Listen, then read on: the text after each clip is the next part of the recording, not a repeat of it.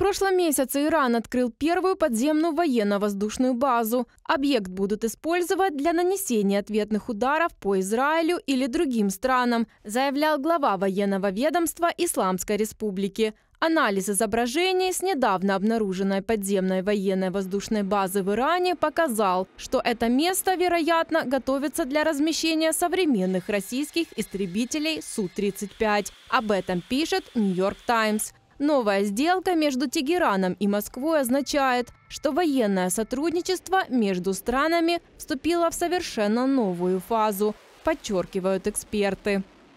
Если Иран получит Су-35, это значит, э, значит, что Иран сможет очень хорошо защищать своего неба, и тогда ту спецоперации, которую Израиль все время откладывает, чтобы не э, дать Ирану получить э, ядерный арсенал, тогда и, и, э, Иран, Израилю будет гораздо труднее этого сделать позже. И не только это будет гораздо труднее Израилю, но и Штаты в целом. По контракту... По контракту непонятно, сколько ракет получит Иран, потому что самолет без ракет, без средств поражения, не имеет смысла. Вопрос в том, может ли сейчас Россия поставлять на экспорт ракеты класса «воздух-воздух», которые им нужны и самим. Иранские СМИ пишут о том, что российский Су-35 является одним из самых мощных истребителей четвертого поколения в мире. По словам экспертов, сделка между Москвой и Ираном не подразумевает военный бартер, то есть самолеты в обмен на иранские беспилотники или боеприпасы.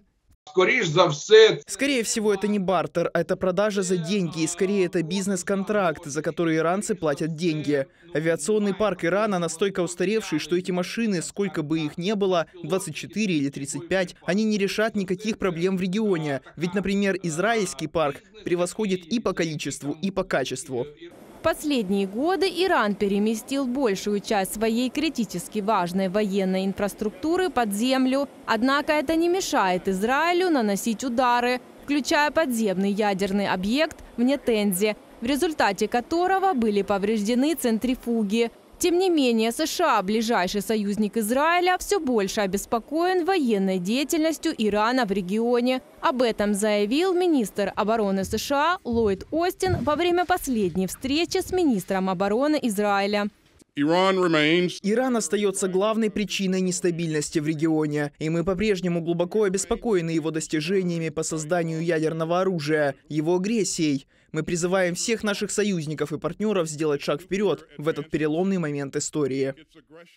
США и Израиль договорились усилить меры по сдерживанию враждебной региональной деятельности Ирана. Как пишут западные медиа, во время встречи глава Пентагона Ллойд Остин и премьер-министр Израиля Беньямин Нетаньяху обсудили новые возможные военные операции против Ирана. Сейчас, я думаю, они обсудили, как может быть выглядеть эта спецоперация против Ирана.